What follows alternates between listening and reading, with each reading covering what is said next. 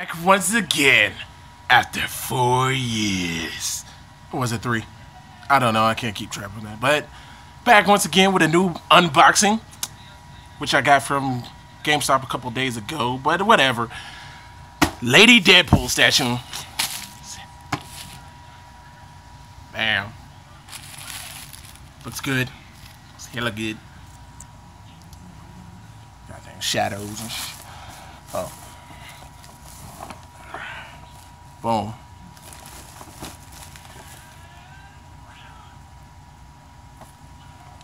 Boom. Oh yeah, you notice the TV is now moved. My computer now there. And a lot of other stuff I will talk about sometime later. Later. But there's my TV now up there. But back to the unboxing of the Lady Deadpool here. So that's the back. You already saw that already. But hey. Focus. There we go. Why am I starting from the bottom? And I should start from the top. So as I focus, but if you want to read that, like nobody wants to read that, or do you? But yeah, the sides is just clear opening. Now I'm gonna open it up. So I'm gonna skip here to it already open. And we're back. And it's out of the box.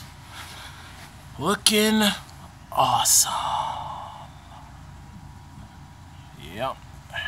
There you go. The Lady Deadpool.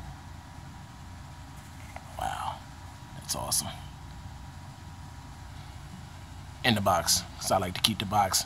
Even though I didn't actually show it come out of the box. How you to call it an unboxing if you don't even show yourself unbox it? But, whatever.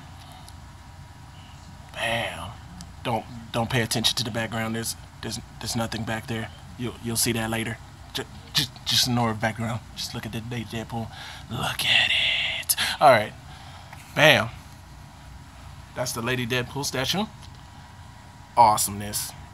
And and don't look at the time either. Don't don't worry about that. I clearly didn't do that at 6:47. Boom. And now I'm gonna put it up here. Bam. On top of my computer. Oh, yes. And that is the Lady Deadpool statue. Got some more to unbox later, but you'll find out about those later.